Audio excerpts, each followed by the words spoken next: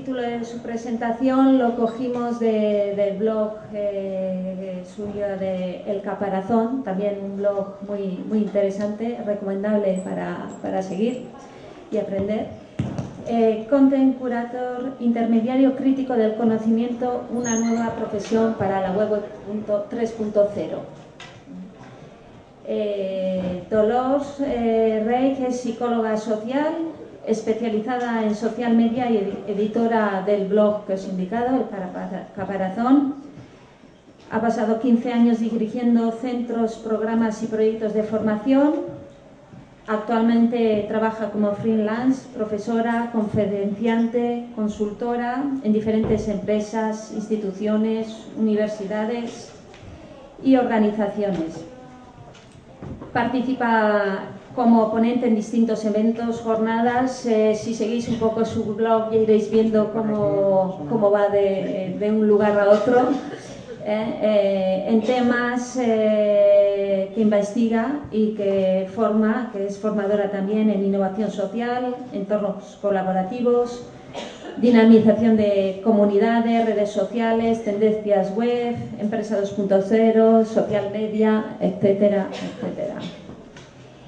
Eh, licenciada en, Psicología, posgraduada en Inserción Sociolaboral, máster en Multimedia, Diseño y Desarrollo Web eh, y actualmente está retomando el doctorado en Sociedad del Conocimiento de la Universidad Oberta de Cataluña. También colabora en múltiples medios de comunicación, eh, tanto escritos, radios eh, y demás, eh, actualmente en la cadena SER en Hoy por Hoy, en el programa Hoy por Hoy. Sin más, os dejo en manos de Dolores y gracias por venir. Muchas gracias. ¿Me escucháis bien al fondo? Yo diría que no. ¿Sí? Ah, mira, no lo parece. Bueno, yo creo que voy a tener que curar mi currículum un día de estos, el día que tenga tiempo me pondré, lo prometo, se me hace largo, cada vez que me presentan se me hace pesado a mí, con lo cual a vosotros ya me imagino que, un poco más y todo, o sea que habrá que curarlo. No es ninguna tontería lo que estoy diciendo, o sea, vamos a hablar precisamente de eso, de, filtrar conocimiento. Esa es la base de mi discurso en torno al, al tema del Content Curator. Digo la base de mi discurso porque ya avisaba cuando he entrado el curso está fantástico, los ponentes maravillosos, vais a aprender un montón, va a estar todo muy bien, pero no es un curso al uso, estamos hablando de algo que se está construyendo, con lo cual corremos el riesgo, y creo que va a pasar, es inevitable, que cada uno nos demos una introducción muy genérica con nuestra, desde nuestras perspectivas diversas, yo soy psicóloga, tenéis documentalistas, biólogos, o sea, desde diversos lugares, absolutamente distintos, con lo cual tendréis muchas intros, al final de todas ellas. Yo creo que vais a tener un buen punto de vista, porque habréis hecho un mashup, de ese mashup, de esa mezcla, de esa remezcla, vais a construir vuestro propio concepto de curador de contenidos, que es de lo que se trata, que sea vuestro y que vayamos construyendo entre todos. Ya os digo, no es, es algo en curso, estamos hablando de nueva profesión para la web 3.0, Mm, estamos en algo que si vais mañana a pedir trabajo o voy a buscar trabajo de content voy a buscar en los periódicos, en los portales de empleo a ver si hay alguna oferta. Lo tenéis bastante complicado, ¿vale? Lo cual no significa que dentro de seis meses sea la profesión del siglo, porque lo del community manager famoso hace cuatro días era lo mismo, nadie sabía lo que era, incluso lo anunciaban en Fanta, no sé si recordáis un anuncio, incluso hasta la vulgarización del concepto, cuando después pues es la profesión de, parece, la profesión del siglo. Le va a pasar lo mismo, se va a ir definiendo, se va a ir especializando, se va a ir concretando y dentro de dos años nadie se va a creer esto del Community Manager ya, nadie va a hacer un curso de Community Manager, va a decir, hombre, Community Manager vale, pero ¿de qué? ¿En qué contexto? ¿Con qué objetivos? Todo se va a ir especializando. Os lo digo porque en todas estas profesiones nos va a pasar. Son nuevas, con lo cual vamos a ir adaptando. Vamos por partes. Es aquel destripador Está muy visto, ¿eh? Chiste, pero bueno, lo leí ayer y se me ha quedado, pero me disculparéis. Bueno, vamos por partes otra vez. Eso. Vamos a hablar de la web 3.0. Vamos, la precaución ya inicial.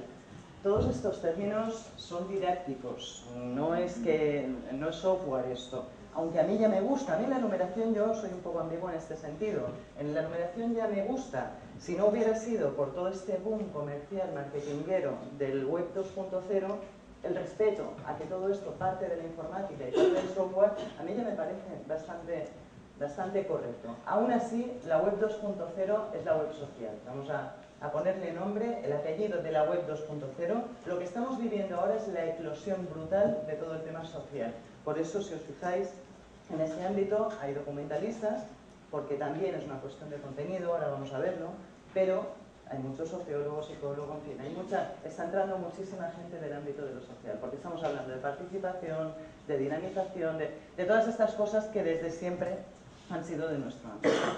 La 3.0 va a intentar especializar, o, o, la característica básica, de hecho yo creo que si sois documentalistas, bienvenidos a vuestro mundo, porque realmente la web 3.0 creo que va a ir más de eso, de filtrado, todo esto tan social, tan participativo, en lo cual estamos participando tanto todos y tan contentos, todos compartiendo, va a haber que filtrarlo, va a haber que, va a haber que objetivizarlo, va a haber que ponerle una serie de contextos, de filtros, etc. En eso los especialistas sois vosotros. O sea, si habéis pensado en algún momento que la profesión, no creo que lo hayáis pensado, no, no ha sido el caso, que la profesión de documentalista está muerta, mm, está más viva que nunca, yo creo que realmente lo que va a vivir en esta web 3.0, o sea, si la 2.0 eh, estas frases que digo no las tuiteéis mucho porque luego cuando las veo me, me, me, saben un poco mal. Pero bueno, sin matizar, si la web 2.0 creo que el protagonismo ha sido de las ciencias sociales o debería seguir siendo, evidentemente no se marcha.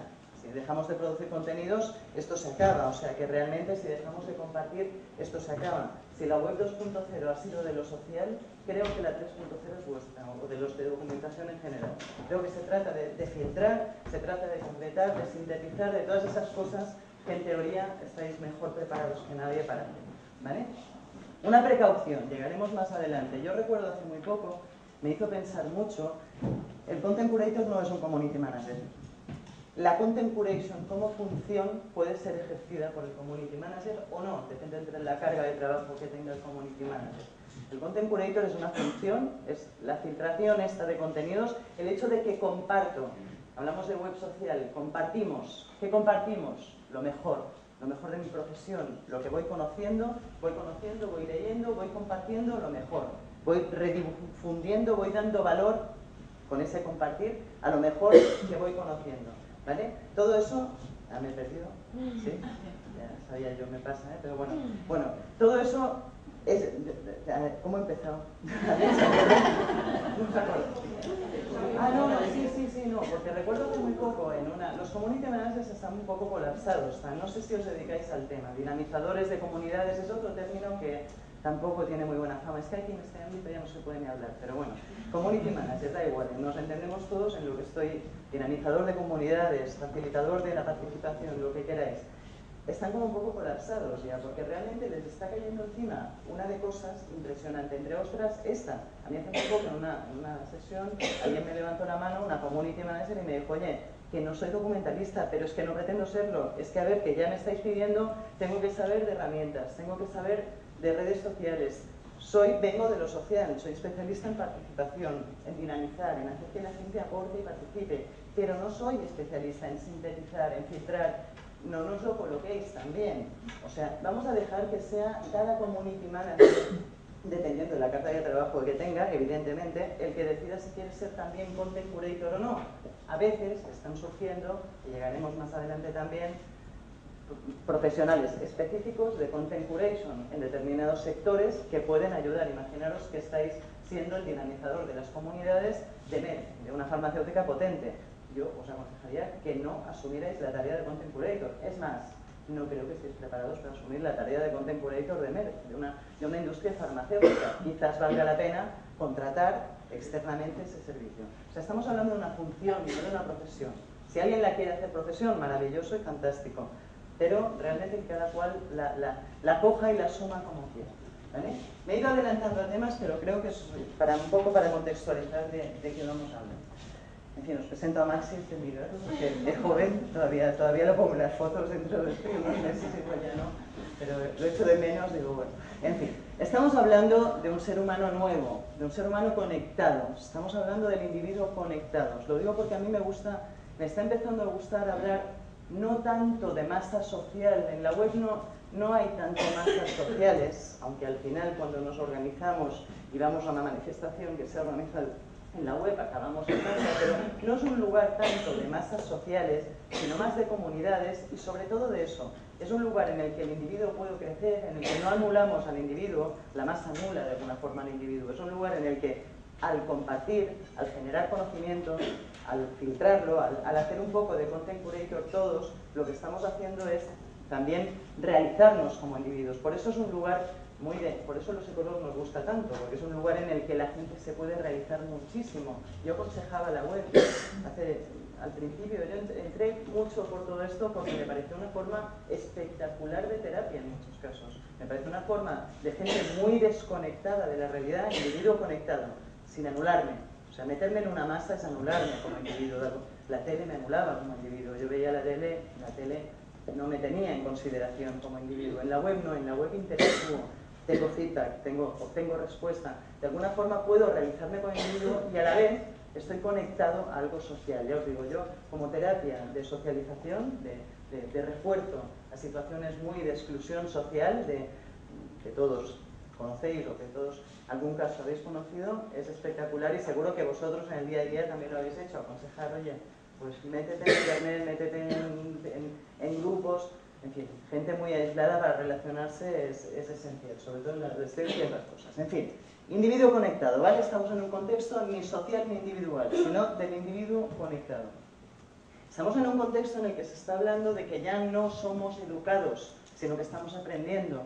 En un momento hablábamos que en documentación los bibliotecarios ya esto ya lo veíais así. Desde luego, el que no lo veía así, creo que no, en su vida no aprende nada. Realmente no aprendemos porque nos eduquen, sino que aprendemos porque nosotros proactivamente accedemos al conocimiento. Esto ya había sido así siempre. Lo que pasa es que ahora en la web no hace falta ir a la biblioteca, ahora con la web la tienes en casa, la tienes en todos los lugares, la tienes en cualquier lugar. Esa ubicuidad que te permite que esto sea de verdad aprendizaje, que el mundo sea un lugar cargado de oportunidades para aprender. Creo que vamos hacia eso, hacia un mundo cargado de oportunidades para aprender, también para desaprender, también para, para muchas otras cosas, pero desde luego como entorno de aprendizaje, como ecosistema de aprendizaje no tiene ¿vale? Hablando de inteligencia colectiva os he puesto como porque también está ocurriendo en la web, hablaremos un poco más adelante. Hemos hablado de Mashup, estos símbolos, ¿os suenan familiares? El símbolo de izquierda de Lupin, el Jim Bloom, todas estas cosas de que heavy soy y cuánto educo libremente. Lo conozco y no es así, cuidado, que a mí me hace mucha gracia esta, esta foto porque pone su peor cara, no tiene esa cara, ¿eh? pero bueno. Eh, esto, ¿conocíais la imagen? ¿Conocíais el, el, contexto? La mayoría, ¿me levantáis la mano un poco así me oriento yo si me estáis entendiendo o estoy hablando chino? ¿Sí? Vale, os lo explico entonces un poco. Un poco todo esto, la web está arrastrando con muchos sectores, está arrastrando, está inundando de alguna forma, mm, haciendo cambiar, obligando a cambiar, empujando a cambiar a muchos sectores, entre ellos la educación.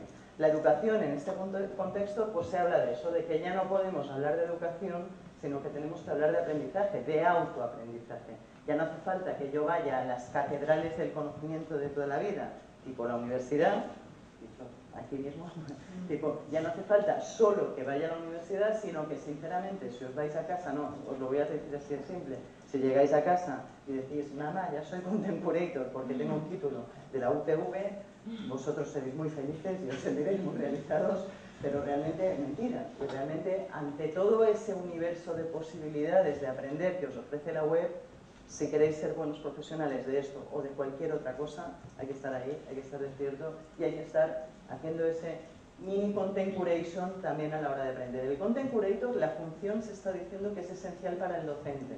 El docente, el profesor, en el contexto, todo esto que os estoy diciendo dice que tiene que ver con el tío de, este de aquí, me voy un poco, es, es una tendencia que se ha llamado, entre otras muchas cosas, educación 2.0, aprendizaje invisible, educación expandida, ha tenido muchos nombres o hay muchos matices de todo este movimiento de cambio en educación y uno de los más, digamos, espectaculares, o yo, diría que de, los que utiliza una narrativa más extrema, es el de Dupin.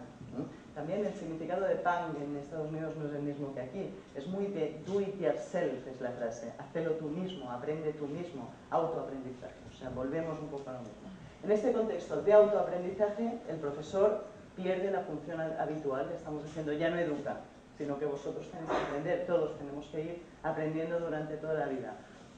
Cambia esa función, con lo cual, pues, pues eso, ya tenemos al profesor como curador de contenidos. O sea, el profesor en este contexto se vuelve también un poco curador de contenidos. Volvemos a lo de antes, no es una profesión, es una función profesional. Con lo cual, lo que os decía, los documentalistas no vais a dar paro, al contrario, vais a tener que formarnos a todo el resto de la humanidad, porque para todos nosotros, en parte, lo de curar contenidos va a ser importante. Nuestra reputación digital profesional de todos y todas, los que estemos, evidentemente, si haces zapatos, igual la cosa es un poco menos complicada, pero si estás vinculado al, conocimiento, tu reputación digital de una o de otra forma incluye tareas de content curator. Ser un buen content curator es esencial lo que os decía el community. Hombre, si tienes tiempo y si te da, si no llevas MER, sino que sois 12 dinamizadores en MER y tres de los dinamizadores se especializan también en, en curar contenidos, fantástico. O sea, realmente es bueno el dinamizador sepa curar contenidos. Es una función profesional interesante, es una competencia, incluso a la hora de estudiar, interesante en el nuevo contexto. Y es, ya os digo, una de las funciones que se dice que tiene el profesor en el nuevo contexto. Dice que el profesor, en lugar de enseñar, lo que hace es guiar, lo que hace es decir esto vale, esto no vale, curar contenidos. No sé si habéis hablado del término. A mí hace muy poco en una presentación, el término es feo, todos lo sabemos, aparte aquí en español recuerda el tema de la curación de carnes, todavía más feo, porque yo no había caído, ¿eh? alguien me lo dijo, dice, esto de curar es de, los jamones, digo ya. Es que sí, que, podríamos arreglarlo un poco. Bueno, hace poco, para, para que os fijéis también de la, las ventajas de la interdisciplinariedad que vivimos, la que estáis viviendo aquí y la que se vive en la web, que es 20 veces más grande, o sea que realmente allí yo interactúo a diario en Twitter con, Juan, que es biólogo, con no sé quién que es médico, etc. Bueno, pues una sesión de esas, recuerdo que me hizo mucha gracia un médico que me levantó la mano y tiene toda la razón. Yo no sé por qué le llamamos curador de contenidos, pudiéndole llamar depurador de contenidos. Dices que esto es el riñón. Dices esto. Y digo, vale, digo, pues tiene toda la razón del mundo. O sea que si queréis inventar otra metáfora o otro, otro término, el del riñón, a mí me parece, entre el riñón y la depuración de contenidos, está interesante. Si sois del sector médico, pues estas cosas sirven cuando en este ámbito también decimos que es todo muy transversal, cambian todas las profesiones. Buscar la metáfora más adecuada a la profesión a la que queráis llegar. Si yo mañana quiero venderle o quiero ah, trabajar en consultoría con, un, con posiblemente me acuerde de lo de la depuración de contenidos y esa metáfora sea la adecuada y la que mejor va a entrar en ese contexto. Por eso el EduPan es un movimiento muy típico de universidades. A cierta edad lo de EduPan entra muy bien. De alguna forma, buscar la metáfora más adecuada a vuestro sector. Porque ya os digo, como está por construir, do it yourself. ¿Vale? O sea, hacedlo vosotros mismos. Bueno, en fin, seguimos adelante un poco. Os decía también, o más, más en la siguiente, un poco de lo que estamos hablando es de que Internet lo que está permitiendo es una explosión creativa espectacular. No es solo gracias a Internet. Yo últimamente echo de menos que le demos las gracias al lenguaje. Es el lenguaje el que, el que el medio, la herramienta, o sea, no, no la herramienta. La base es el lenguaje. La base para crear contenido sigue siendo el lenguaje sigue siendo lenguaje audiovisual, visual, cualquier tipo de lenguaje. Realmente el lenguaje es, es lo esencial. Lo que posibilita Internet es que ese lenguaje se pueda viralizar, pueda extenderse a todo el mundo, pueda, si es con su contenido abierto todavía más, pueda llegar a todas partes, pueda redifundirse, pueda... Es un lugar, se le llama arquitectura de la participación cuando hablamos de, cosas sociales. Yo le llamaría arquitectura de la creación. Realmente es un lugar apropiado para la creación y la redifusión de lo que creamos. Es un lugar en el que especialmente los bits corren muy rápido, no, no, son como los átomos. O sea, el libro en papel yo se lo dejaba a él, él a ella, etcétera, y al cabo de tres años todos nosotros podíamos haberlo redifundido, ¿no? pero realmente tardábamos muchísimo. Hoy en día no, hoy cuando acabe este curso os puedo enviar la presentación a todos y, tranquilamente. O sea, es muy fácil redifundir ese lenguaje, o sea, la gracia es el lenguaje, la gran revolución la hizo el lenguaje, pero Internet lo que hace es universalizarla y hacerlo todo mucho más potente, a nivel tanto de que llegue a todas partes como de multiplicar la potencia de, de esto. ¿no? Crea todas estas abundancias, abundancia social, abundancia informativa, hemos hablado de todo esto, aunque no lo parezca, estos son resúmenes al final. Abundancia de recursos y contextos para el aprendizaje, abundancia de capacidades cognitivas y posibilidades creativas, y cuidado porque esto último es importante, tanto como comunidad, creo que nadie duda de la inteligencia colectiva, bueno, sí dudáis de la inteligencia colectiva, o sí dudáis que siempre los grupos sean inteligentes, pero nadie duda de que el hecho de que todos podamos acceder a Internet y crear contenidos, y sintetizar contenidos, y filtrar contenidos, y hacer lo que queramos con los contenidos, en, el fondo nos enriquece, o en el fondo creo, a mí, esto ya hace unos años todavía lo decía, pero ahora ya no creo que haga falta decirle a nadie esto es como una gran biblioteca universal y que, vamos, que nos beneficia a todos y que nos enriquece a todos. En ese sentido hablo de inteligencia colectiva, no hablo de que la inteligencia sea algo, hay quien habla ¿eh? también, de que, de que realmente, que también podríamos hablar, pero bueno, no, de que realmente pues, un grupo es inteligente de por sí, o de que podríamos extraer conclusiones inteligentes, que ahora mismo si todos dijéramos algo se podría crear de ahí una idea nueva maravillosa. Eso llegará, o hay teorías que hablan, pero no estamos hablando de eso, estamos hablando del potencial creativo que tenemos todos como colectivo. ¿vale? Y sobre todo yo os decía como individuos, porque lo que está claro, y si alguien duda también lo podemos hablar al final, es que estamos evolucionando cognitivamente con todo esto espectacularmente. Empiezan a surgir estudios que hablan de que aquello que decía yo hace dos días, de que lo que el mito de la multitarea, por ejemplo, de que no somos capaces cognitivamente de hacer dos cosas a la vez, pues ya casi que vamos siendo capaces. O sea que realmente, a mí hace muy poco me, dieron una metáfora muy buena. Me dijeron, a ver, si los jugadores de videojuegos, desde el momento en el que empiezan a jugar al videojuego hasta el cabo de dos años, se convierten en maestros, son mucho más rápidos, ah, matan más, más marcianitos, no sé. O sea, si realmente tu cerebro es capaz de adaptarse a eso y de de, generar buenos productos a partir de eso, con el conocimiento pasa exactamente lo mismo. Cada vez somos más capaces de lidiar con todo esto. Yo creo que vosotros lo vivís, aunque a veces somos un poco pesimistas con nosotros mismos. Hace cinco años hablábamos, o los que estamos en la web permanentemente, hace un tiempo quizás nos agobiábamos un poco, decíamos, uy, tanta información, tanto no sé qué, tanto vas aprendiendo a lidiar con todo ello.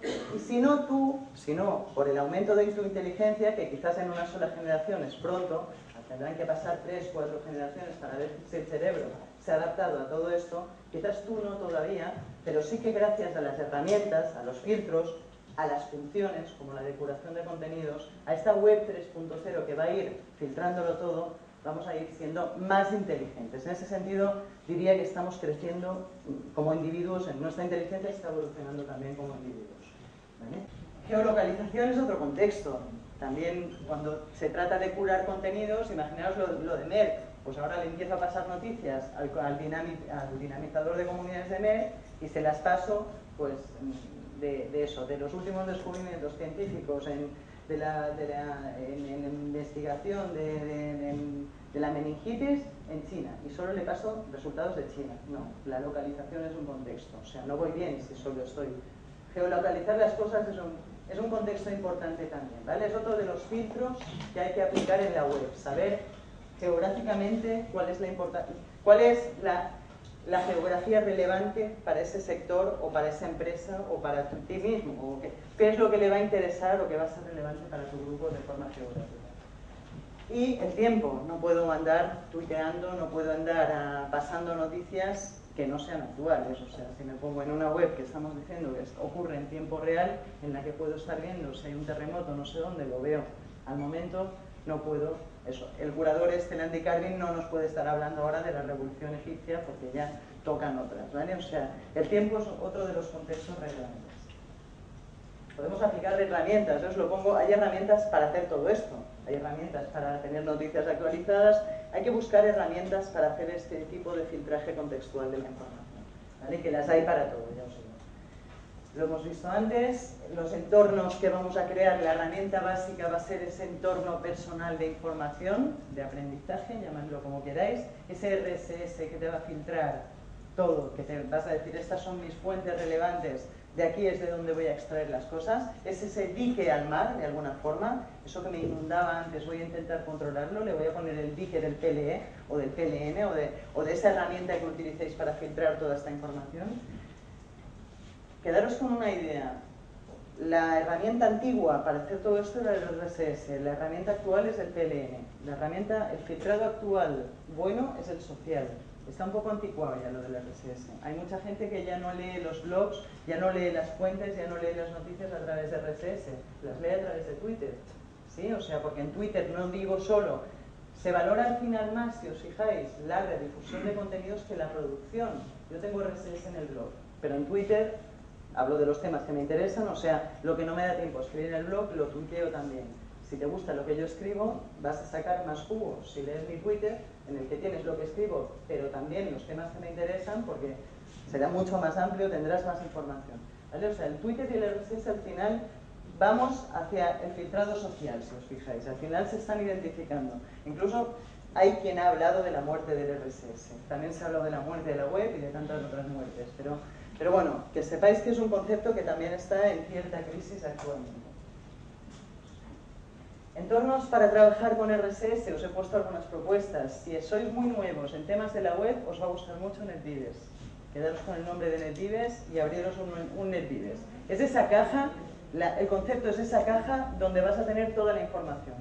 Contexto, ejemplo práctico que siempre se entiende mejor. Yo ahora mismo estoy haciendo una consultoría para una editorial de contenidos pedagógicos, digamos que una revista que publica temas de educación lo primero que he hecho, aparte de hacer, estos sí quieren hacer el content curation ellos. O sea, si me hubieran dicho, es que vamos a tope y no sabemos de qué informar y tenemos que tuitear 80.000 mensajes diarios y mantener un blog, les hubiera dicho, vamos a buscar a alguien que os haga la curación de contenidos. Pero en este caso no, en este caso podían asumirlo ellas. Lo que les he hecho es un NetDives, un NetDives o les he ayudado a hacer, evidentemente, un entorno que ellas abren cada mañana con todas las fuentes, con los contactos que informan bien, con las fuentes que informan bien, etcétera para que ellas de ahí vayan extrayendo cosas que tuitear, para proporcionar contenidos a ese señor que quería vender coches, para proporcionar contenidos relevantes. ¿Vale? O sea, eso, si os fijáis es una herramienta, es una caja de herramientas que tú proporcionas al cliente en el caso de que estéis haciéndolo a ese nivel o que si no os construís vosotros, ¿vale? Ah, Simbaloo, Pageslay son otras alternativas, Pageslay y NetVives son primos hermanos, muy parecidos, digamos que es la la alternativa minoritaria en NetVives, NetVives es un poco ya masivo, el TextLake este está un poco, un poco menos conocido, pero es ahora el mismo juego. O un Google Reader, ¿eh? cuidado que un, buen Google Reader te sirve perfectamente de entorno personalizado de información, no hace falta que os compliquéis más la vida. Ahora, si acabáis de aterrizar la estructura de NetVives en ventanitas y tal, ayuda. Os lo digo por experiencia, la gente que acaba de aterrizar en todo esto, el tema de NetVives, le va bastante bien para para hacer un primer esquema, un poco volvemos a, los primeros esquemas. Complementos de inteligencia competitiva, que se dice, de, un poco complementos de, para informarte mejor, de pago incluso, como Clearbox, complementos que van más allá de la alerta de Google. Un complemento es ese también, ¿eh? las alertas. Dices, me quiero... Es que Dice, por ejemplo, otro ejemplo práctico. Yo estaba explicando todo esto muy bien hasta que me puse a hacer en NETIDES, el entorno personal de información de los juristas criminólogos de la Administración de Justicia de Cataluña.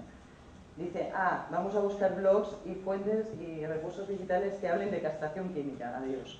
Dices, Dios mío, ¿cómo lleno yo NETIDES de esto? O sea, una fuente, dos fuentes, en ese caso crearás una alerta. Es tan minoritario, es un tema tan puntual, tan, tan específico, que casi que mejor que cuando ocurre, no sé, si sale una ley no sé dónde, si es algo tan tan específico, las alertas os pueden ir muy bien. ¿vale? O sea, otro tipo de herramientas más de, de eso, de inteligencia competitiva, de ser el primero en enterarte, se llaman herramientas de inteligencia competitiva, es un nombre muy feo, pero, pero un poco la idea es esa, ser el primero en enterarte de cuando surge una noticia, cuando surge algo, ¿vale?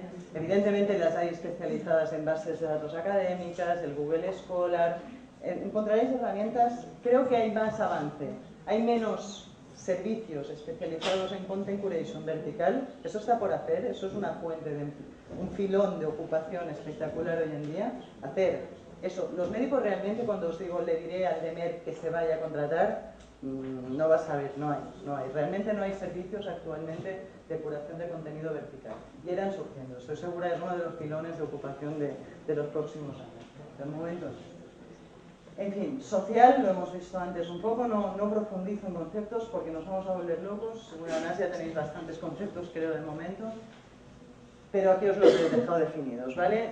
Profundizad aquí, cuando estamos, otras cosas que se proponen, otros conceptos de los que se está hablando, son estos que tenéis arriba.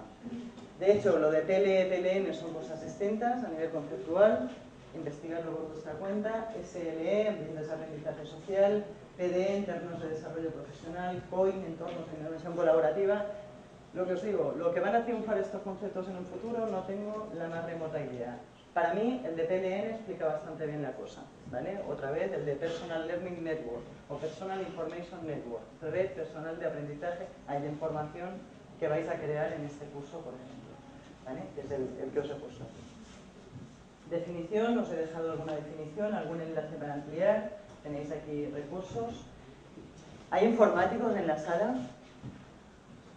¿No? No sé, si...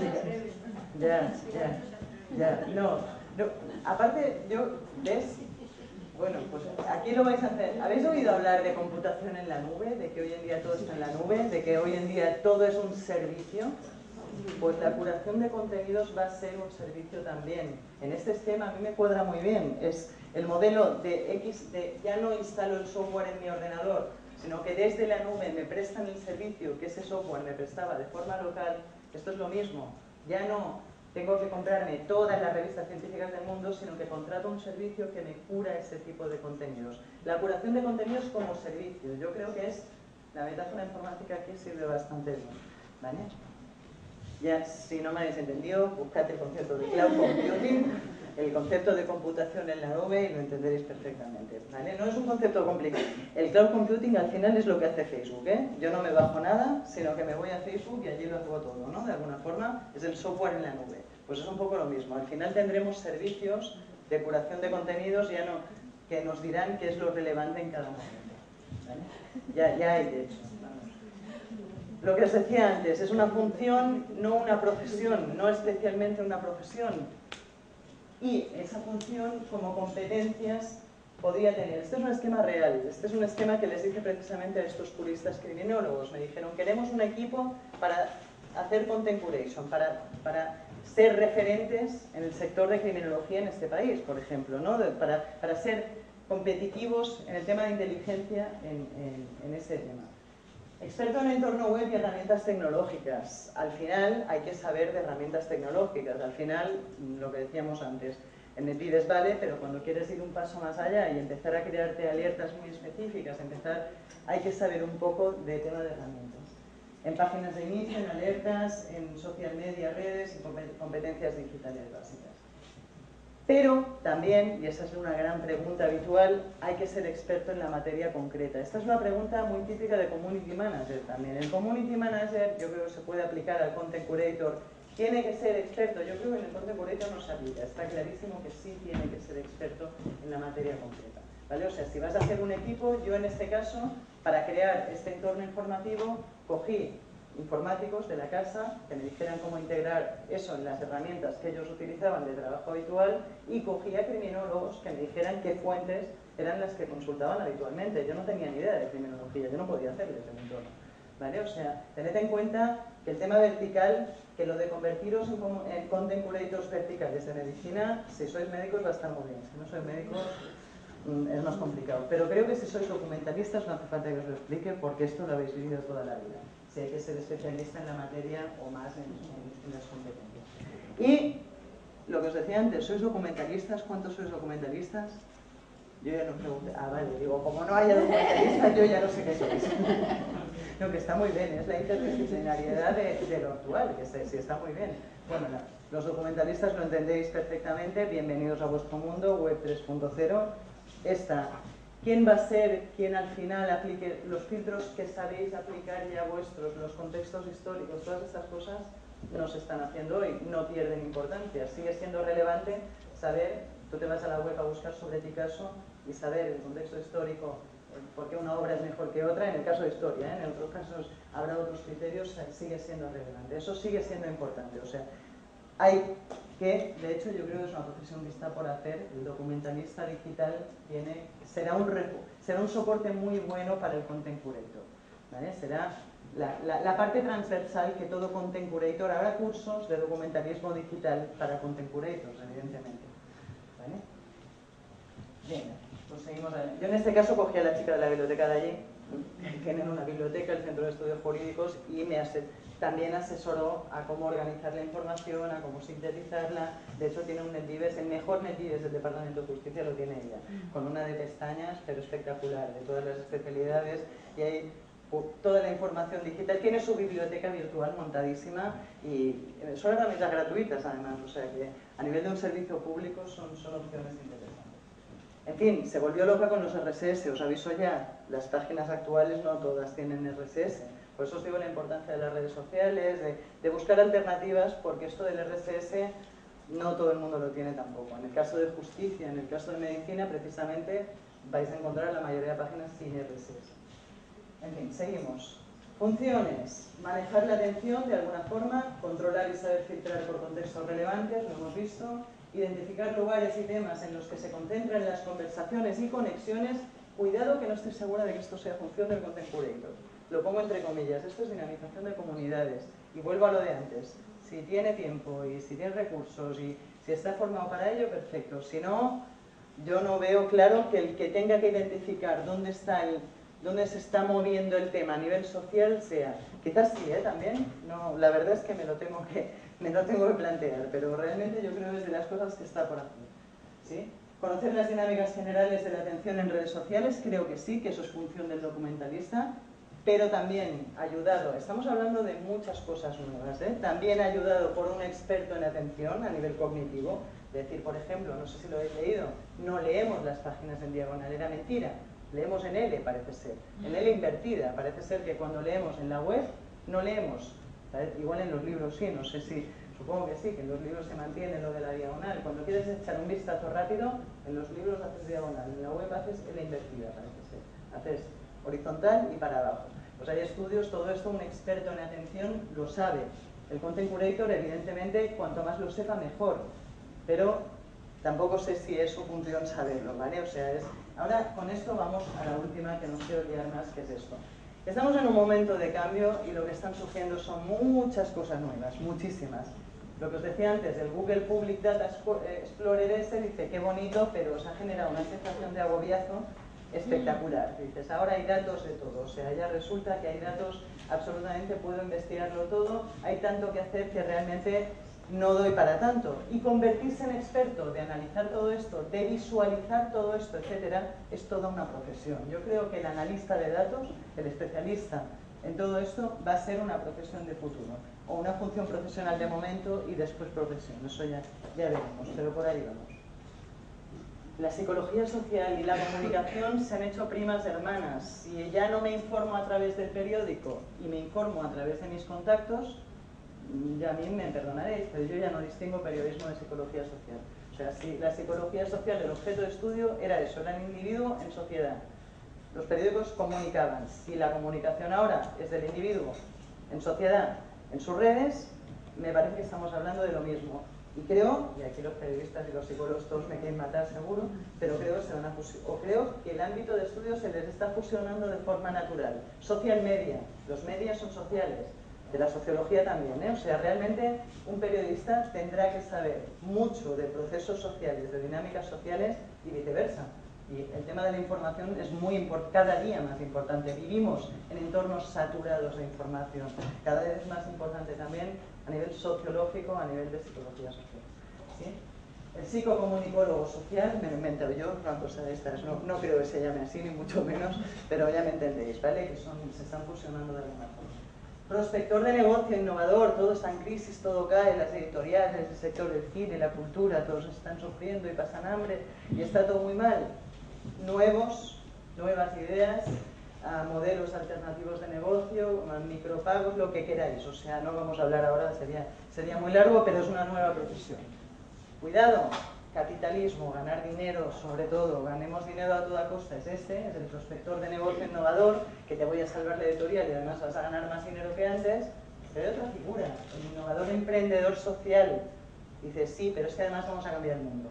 Además, no solo eso, sino que en lugar, vamos a salvar la industria del automóvil, pero además no ganará tanto dinero, pero sí hará un mundo más sostenible.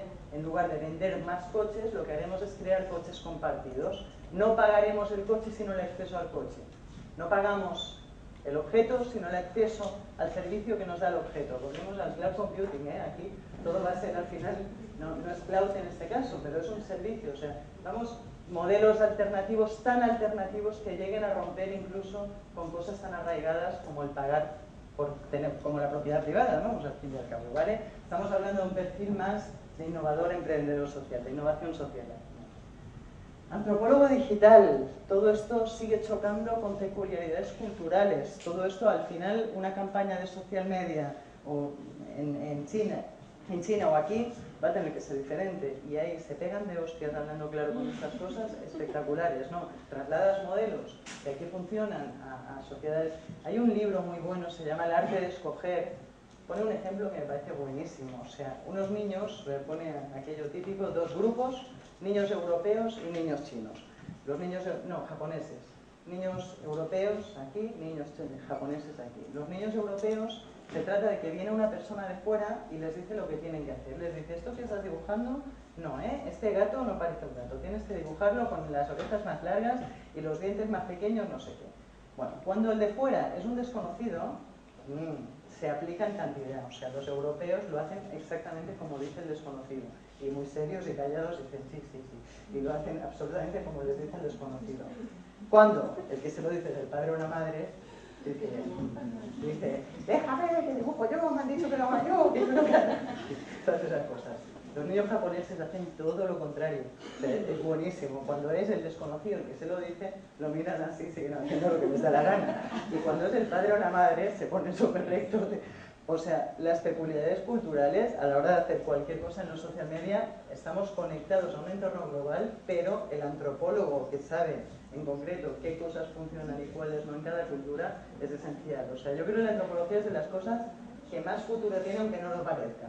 Ya no es él, sino las comunidades digitales están creando culturas propias, derivadas de las de la calle, pero con añadidos digitales. La cultura hacker es una cultura totalmente digital y es muy estudiable desde el punto de vista antropológico. O sea, realmente la antropología tiene, es una, yo creo que hay más, hay profesiones de futuro, aquí os he puesto cuatro y se va a acabar el mundo, todo lo demás que no, hay más profesiones de futuro, aquí os he puesto las más relacionadas, creo, con el tema de content curation, con, el, que, el que estamos hablando. Experto en aprendizaje, brecha digital, brecha digital ya en Europa poca, en Occidente poca, no poder acceder, no tengo acceso a un punto de conexión a Internet. A ver, que nos digan, no accedo a Internet porque no tengo acceso, mm, alguien habrá todavía, pero poquito, ¿vale? Cada vez menos. Brecha de aprendizaje, muchísima. Empresa, que es el tema de la educación. Señores profesores de toda la vida, ahora os vamos a poner, vais a hacer lo mismo, lo mismo no, vais a tener que hacerlo mucho mejor, colaborativo, no sé qué, con ordenadores brecha de aprendizaje, no tengo ganas de aprender. El experto en aprendizaje, en motivar el aprendizaje, en saber cómo se aprende mejor, vamos a, casi la píldora de las películas es, el que tendrá que inventar la píldora, ¿vale? No, no del todo, pero cada, vivimos en un mundo que cada vez hace más complicado seguir viviendo sin aprender. Es cada día más importante estar aprendiendo permanentemente y no siempre se está preparado o se tienen ganas de aprender. O sea, optimizar los procesos de aprendizaje. Además, pensar que la ciencia avanza mucho. Quizás un experto en aprendizaje hace cinco años tenía, no, tenía tantos, no tenía tantas fuentes de las que tirar. Hoy en día la investigación en neurociencia, que se dice en observación de procesos cerebrales cuando aprendemos, etcétera, está volando, o sea, está avanzando a una velocidad espectacular. Es, se habla incluso de neuroaprendizaje, en fin, ciencia cognitiva y aprendizaje, los que estáis en estos ámbitos me entendéis mejor, ¿vale? pero, sí que es una, una profesión de futuro. Y evidentemente experto en participación. Otra vez, brecha digital no, brecha de participación. Puedo acceder pero no, no, lo hago. ¿Por qué no lo hago? Hay toda una serie de cuestiones. Todo esto no tiene sentido, de hecho, si no participamos. La gracia de la web social esta es que la gente participe. 11, no, 15, 11, iba a decir barbaridades. 15, 15 si al final conseguimos que se cree una democracia más participativa, que se pregunte a la población si quiere determinadas cosas o no quiere determinadas cosas y que no se haga todo por Real Decreto, si al final se consigue porque tenemos herramientas para hacerlo y muy potentes, lo del referéndum a mí me da gracia, ¿qué referéndum?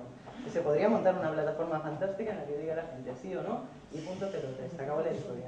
No, que interese o no interese, pero las herramientas están ahí evidentemente habría una brecha de participación, habría mucha gente que ahí si ven lo que votaron, no sé qué, habría muchas historias que resolver en, cuanto a participación. Digan lo que digan, quieren ganar elecciones y se va a ir por ahí. Se diga lo que se diga, se va a hacer más participativa la sociedad porque todo el mundo lo está demandando y porque yo siempre, aquí me sale la vena psicológica, la gente se está acostumbrando a participar en Internet cantidad. Y cuando sale a la calle y le dicen que no, que aquí solo participa cada cuatro años y a través de esos señores que le representan, no entiende nada. Y la gente tiene una disonancia cognitiva que estamos empezando a ver que está provocando los conflictos que sacan la gente en la calle. Pero que va a seguir adelante. Yo creo que va a ser el experto en participación realmente va a tener muchísimo trabajo porque los gobiernos, los partidos, cuando apuesten ya por esto, cuando los gobiernos ya se acaben de creer esto, que no creo que falte mucho, ahora sí que ya soy optimista, ahora sí ahora sí que ya estoy, me sale aquí ya. Cinco años he dicho, ¿no? Y nada, pues, pues da igual. Pero si tengo razón ya veré eso, ¿sabes? Bueno, en fin, va a hacer falta eso, convencer a la gente de que participe, formar a la gente para que participe, todo eso. Sobre todo a la gente que no ha crecido con eso. Estamos conviviendo generaciones que lo demandan y generaciones que ni se lo imaginan, vamos. O sea que va, a hacer falta eso. En fin, creo que ya terminamos. Tenéis la presentación en la web.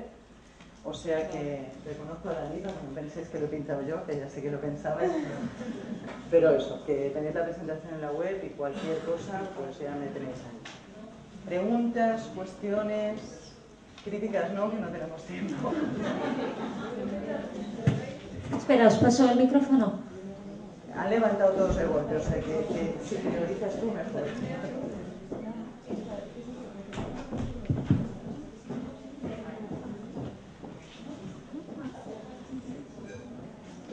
Hola, buenas. Eh, bueno, lo primero que quería hacer es felicitarle por su exposición, que ha sido muy, muy exhaustiva y. Eso es por eso, ¿eh? Eso es por la nube esta. No, bueno, yo tengo muchísimas preguntas, ¿eh? pero una de ellas, así un poco, y ya a cara de futuro, eh, la, la, pregunta sería si la web 3.0 que ha definido como algo que hay que filtrar, eh, que tendría otra forma, y eh, sería, en todo caso sería, me refiero, sería una web social, y si sería blogs o si lo vería con otro tipo de estructura. O sea, porque el tema blog lo veo como muy time, o sea, muy eh, por tiempo, y si podría llegar a tener la web otras estructuras más allá de, de la plana. Bien, muy buena pregunta. A ver, no os obsesionéis con las herramientas, buscar la herramienta más adecuada a vuestro sector. Yo no me lo había planteado hasta que lo has dicho realmente, pero te soy sincera.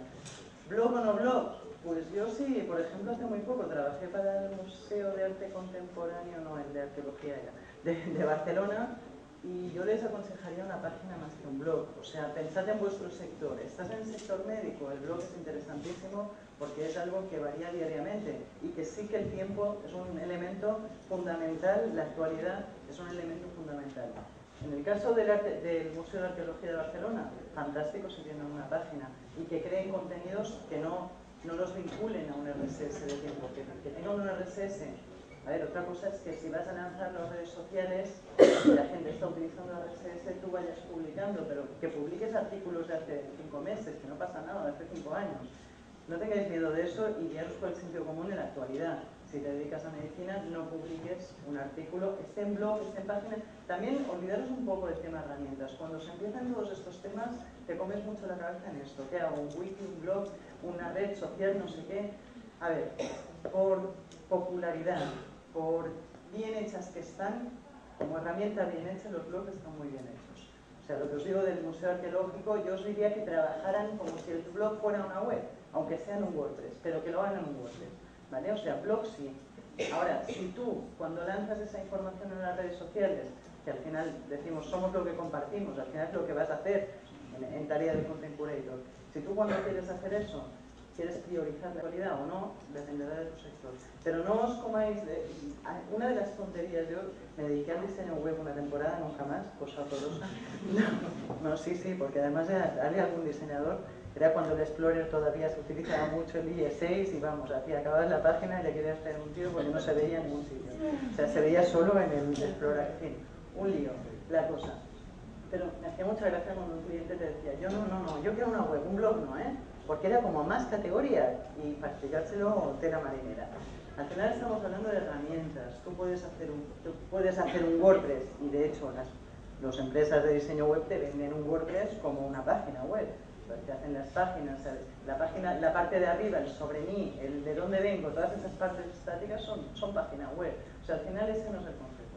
Al final la historia, tú puedes tener un wiki, incluso podrías, serías un poco frikis, ¿eh? Sería un poco, pero, pero a ver, cada cual podrías publicar cosas de actualidad en un wiki, poniendo marzo, febrero, enero, y ir publicando ahí y lanzarlo a Twitter. O sea, la historia es el enlace que cojas y lances. La, la, la actualidad se la das en ese momento. ¿vale? Incluso en un blog, a ver, depende del tema. Yo a veces estudio cosas que escribí hace dos años porque considero que siguen siendo de actualidad. El, tema, el, artículo este de Contemporáneo, de hecho, creo que tiene un año, dos años, o dos, creo. Siguen siendo de actualidad. Hay otras cosas que no tuitearía hoy, como la de Google o yo qué sé, o, mucho antes de las redes sociales. La, del dato de los 400.000 millones de usuarios, pues no lo tuitearía ahora. ¿Sí? O sea, es el, es el sentido común al final y, y lo que dependas de la actualidad. ¿Era esa la pregunta? Sí, un poquito igual más allá. ¿Sí? Eh,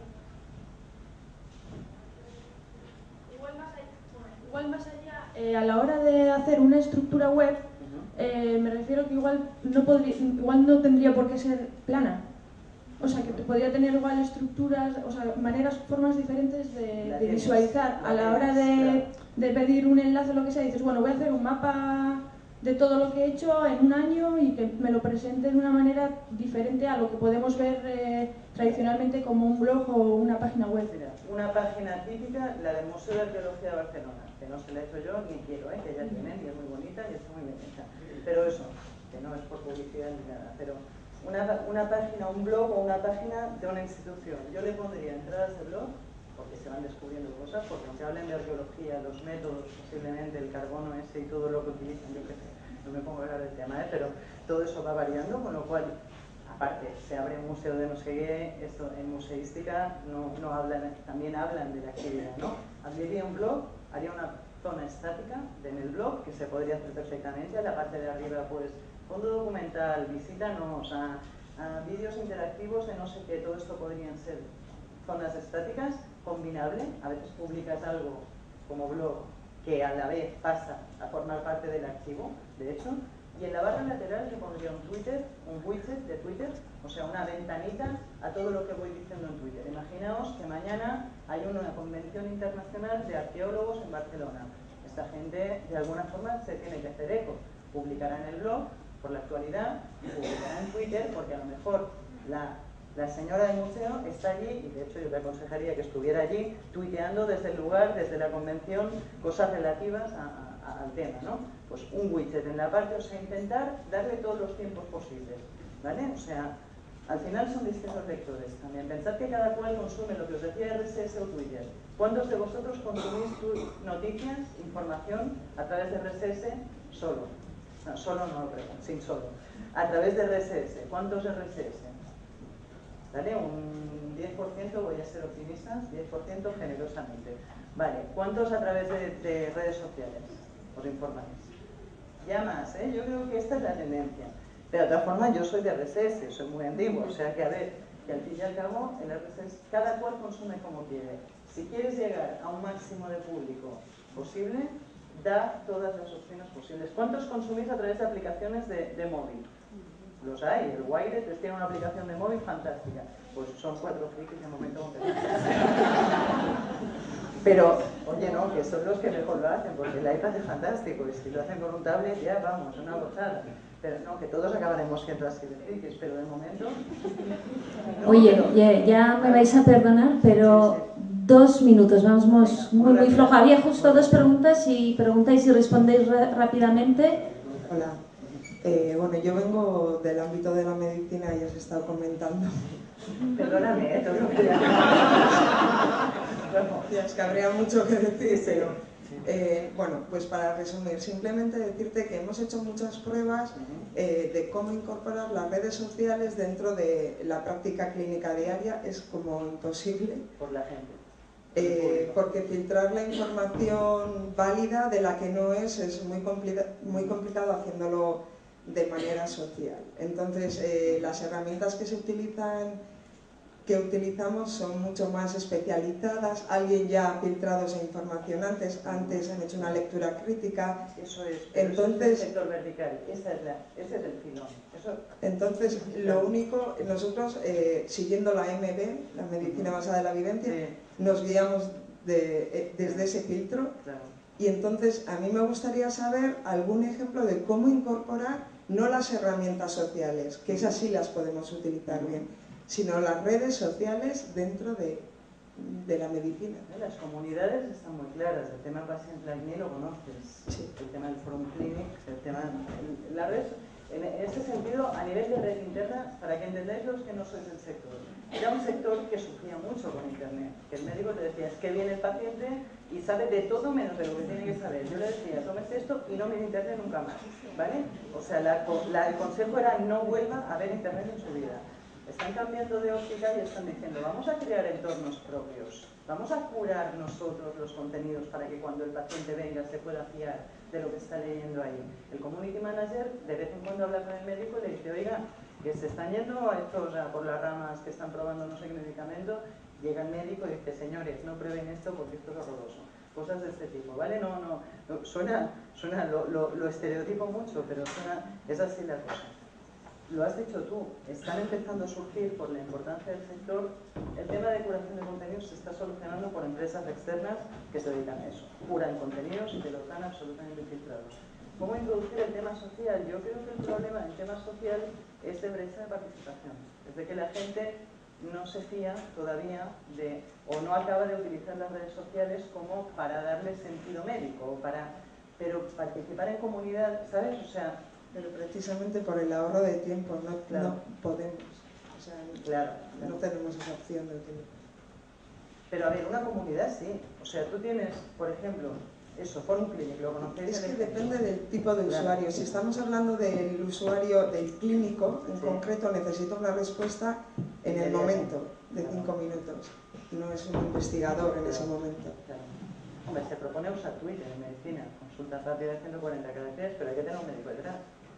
Y hay que, claro, son recursos al final. Yo creo que es una cuestión de recursos, herramientas y posibilidades, yo creo que es de los sectores que va a crecer más en un futuro. Y es un ámbito, comunidades de pacientes, de autogestión, se está empezando a hablar de eso, de autogestión de la enfermedad, de que el diabético o de que hay enfermedades, especialmente diabetes, de estas como no tan, el estrés emocional no bloquea la participación, que pasa eso también, es tan estresante que no, solo me de un médico, no quiero hablar de nada, o, te bloqueas, pero sí que hay ejemplos. Yo creo que está, es de los sectores más prometedores, de hecho. El cómo en comunidades, yo he trabajado bastante en comunidades y funcionan bien. En plan, depende de la enfermedad, comunidades de diabéticos, en los que al final el community hace eso. Dice, esta cuestión mejor que no la resuelvan ellos porque ya se les escapa. Se la voy a trasladar al médico mejor. Y aparece el médico por ahí, ahora tienes que tener un médico que aparezca. O sea, yo creo que son recursos la palabra clave en este caso. ¿No? ¿Sí? Pero bueno, en fin, que está por hacer ¿eh? de todas formas, pero que es un ámbito interesante. Crear una empresa de curación de contenidos en dermatología, ¿no? Ya ni en medicina es absurdo, ya empieza a haber cosas. Ya, no me acuerdo ahora del nombre, hay una española, pero que está, no me atrevo a recomendarle tampoco, la está empezando.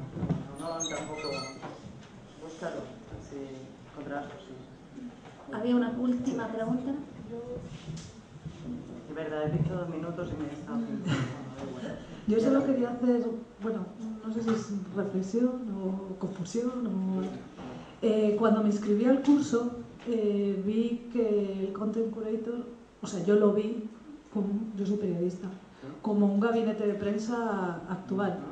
Realmente es así, o sea, las empresas o las instituciones necesitan saber lo que se está diciendo de ellas o no. Sí. Creo que es distinto controlar la, el que se está diciendo de ti es otra cosa, reputación digital y eso sí que se suele yo creo que es otra cosa. Hay empresas ya específicas de control de reputación digital, de marca, de... es otra nueva profesión que yo me he dejado porque es muy marketingera y no me gusta. Y la he dejado, pero marca digital, el tema de marca, el tema de controlar la, reputación de marca. Ahora, tu primera parte de la reflexión creo que sí que vas muy bien. El periodista especializado, el Andy Carvin este, está siendo consultado y está siendo, mm, digamos, publicado de alguna forma como content curator del tema de las revoluciones. O sea, sí que al final los periodistas están teniendo que ir a Twitter, a las redes sociales, etcétera, a, completar sus fuentes. Ahora, pensad, sería como si me hubieras preguntado, ¿es lo mismo el documentalista especializado en historia que el periodista, que el periodista histórico? ¿Qué me diríais? O por ahí va el tema. O sea, yo creo que en el sentido de actualidad, el periodista está más vinculado a la actualidad, ¿sabes? O sea, pero vamos, que no os, de verdad, no os cerréis. Hoy en día, mentalidad abierta, interdisciplinariedad total. ¿Te gusta lo de Curator? Para adelante. ¿Soy periodista? ¿Me estoy saliendo del periodismo? En absoluto. Seguro que no, porque lo vas a hacer desde la óptica de un periodista soy documentalista, seguro que no, te, no, acabas siendo periodista porque lo haces en otra óptica. Yo también está en la producción, el periodista quizás se le pide no tanto que filtre, sino que produzca y sintetice, ¿no? O que, que acabe dándote una síntesis de lo que. Yo creo que ahí hay una pequeña diferencia. El periodista es comunicador, el documentalista no tiene por qué producir nada. Solo con filtrar tiene bastante. Creo que allí, ahora uno se apoyaría en el otro también, si os fijáis. O sea que realmente Va por ahí, pero vamos, que, sí. pero vas bien siendo periodista y estando aquí, esa era la pregunta. Bueno, Dolores, muchas gracias. Eh, vamos muy justo de tiempo.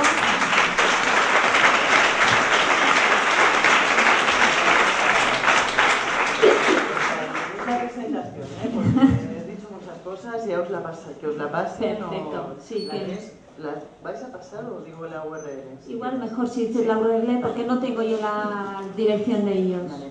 Dentro de nada, bueno, yo la he tuiteado esta mañana. ¿Qué preferís? ¿Con Twitter o una otra Está en el Twitter como 4 o 5 veces, ¿eh? O sea, que la dirección desde la que te la puedes... Esto es, esto es producción social, social, social, en vivo y en directo. Eso es, ¿vale?